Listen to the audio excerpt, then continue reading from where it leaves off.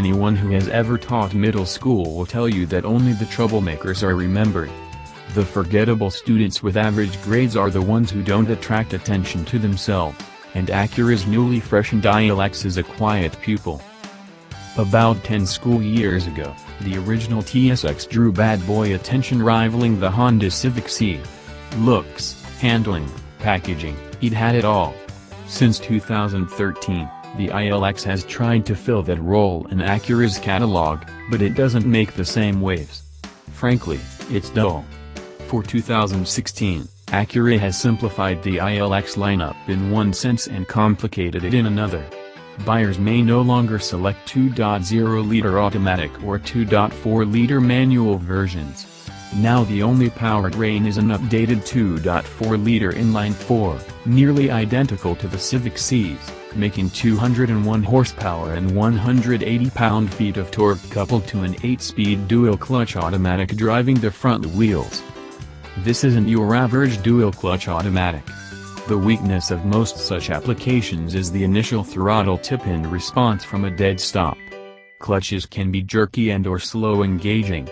The ILX is unusual in that has a torque converter, yielding yacht rock smoothness off the line with quick, solid upshifts. From behind the leather-trimmed wheel, you'd never know this automatic has three times the coupling devices of a manual transmission. In other words, the new gearbox is forgettable, though in a good way. The altered tranny adds time to the track test numbers compared with the old manual 2.4. With a 6.6 second 60 mile per hour time and a 15.2 second quarter, the 16 model is 0.2 second off the mark of the last 2.4-liter ILX we tested. Adding the extra hardware also helped inflate the curb weight by 164 pounds over the old 2.4, but the 3,134-pound sedan, here in A-spec form, doesn't feel any heavier.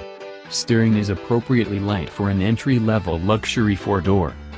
The old TSX wasn't a BMW, but it was hardcore Honda, with a balanced chassis and perfectly satisfying controls that spark happy memories even years later. As with so many Acuras of late, there's no interaction with the Jejune ILX that we think we'll remember in a decade. On the road, it handles competently enough, the understeer gradually building well before the tires lose grip. There seems to be more real-world adhesion than the 0.83 gram skid pad score suggests, and the ILX glides through corners with surprising confidence and body control, at least some credit belonging to the A-Spec's slightly wider tires. But there's no passion in this car, and the rest of the A-Spec's components are even less memorable. Fog lights and suede and leather seats are the highlights of an otherwise cosmetic $1,990 upgrade, more May-spec than A-spec. At $32,810, the ILX A-spec shadows the Audi A3, BMW 2 Series, and Mercedes-Benz CLA 250, though without their oomph. And the cabin isn't quite as quiet as the Europeans. While the Acura's front seats feel roomy, the back row is a squeeze for adults. Plus, of the cars mentioned above, only the ILX doesn't offer four-wheel drive, which will certainly keep it off many a northern buyer's radar. What we can't forget is how fun the TSX was and how little of it has trickled into the ILX. Entry-level luxury is more university than junior high.